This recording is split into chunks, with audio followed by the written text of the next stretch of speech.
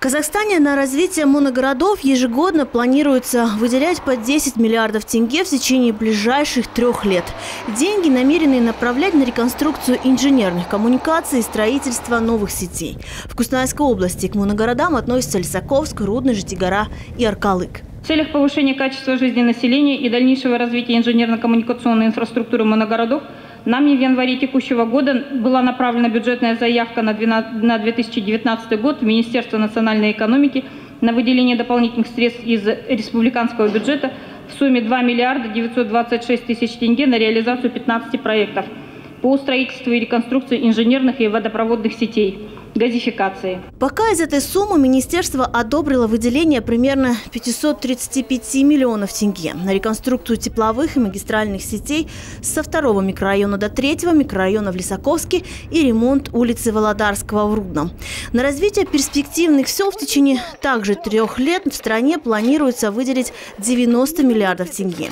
Эти деньги пойдут на модернизацию социально-экономической инфраструктуры почти полторы тысячи перспективных сел.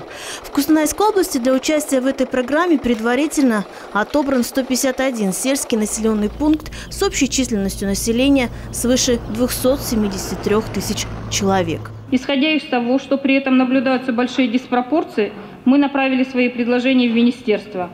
К примеру, в Кустанайском районе предлагается 23 сельских населенных пунктов, в том числе, например, взять э, поселок Октябрьский, э, село Казахстанец.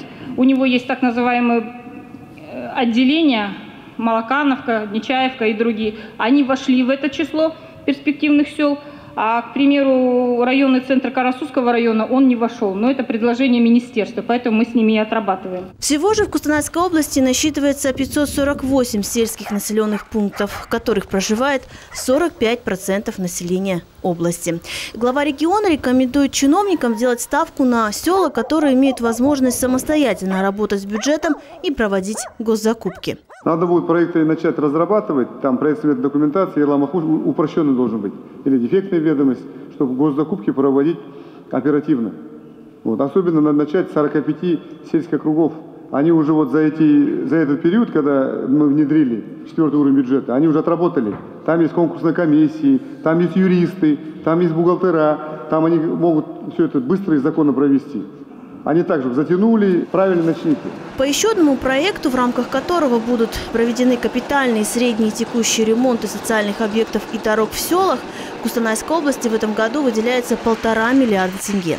По словам чиновников, эта сумма будет разделена по районам в зависимости от живущего количества в них жителей. Хамзан Урпиизов и Татьяна Калюжная, РТН.